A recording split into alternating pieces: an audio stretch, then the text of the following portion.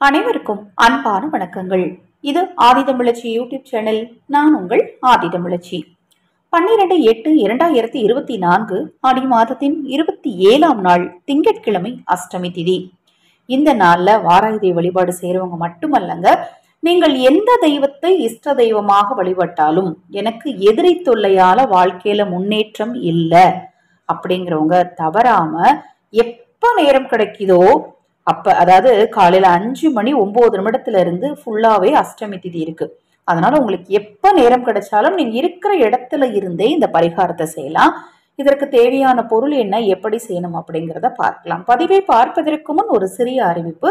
நமது சேனல் சார்பாக அனைத்து பூஜை பொருட்களையும் அறிமுகப்படுத்தி இருக்கிறோம் அது மாதிரி அனைத்து பிரச்சனைகளுக்கும் உரிய பரிகார பொருட்களையும் அறிமுகப்படுத்தி இருக்கிறோம் உங்கள் தனிப்பட்ட பிரச்சனைகளுக்கு பிரத்யேகமாக ஆலோசனைகள் பெற விரும்பினாலும் வராகி தேவியின் திருவுருவம் பதிக்கப்பட்ட வராகி நாணயம் உங்களுக்கு தேவைப்பட்டாலும் வராகி தேவியின் கழுத்தில் அணிவிக்கப்பட்ட மங்கள மாங்கல்யம் உங்களுக்கு தேவைப்பட்டாலும் nine three double four six nine two zero four two இந்த வாட்ஸ்அப் எண்ணுக்கு தொடர்பு கொள்ளுங்க.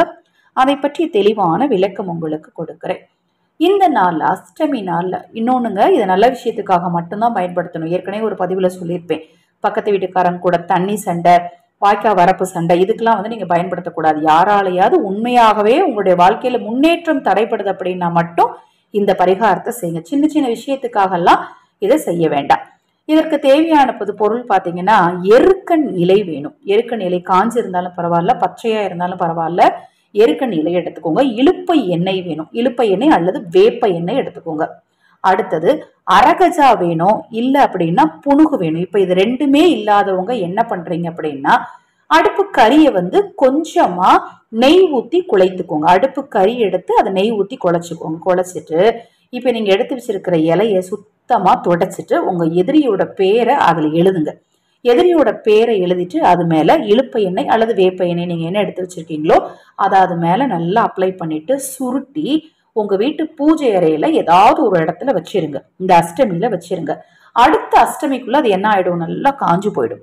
உண்மையா வந்து இந்த பரிகாரத்தை பொறுத்த மட்டிலும் பாத்தீங்க அப்படின்னா அடுத்த அஷ்டமிக்கு அந்த எதிரியால உங்களுக்கு பிரச்சனை அந்த எதிரி இருந்த இடமே உங்களுக்கு தடையுமே கண்டிப்பா இருக்காது.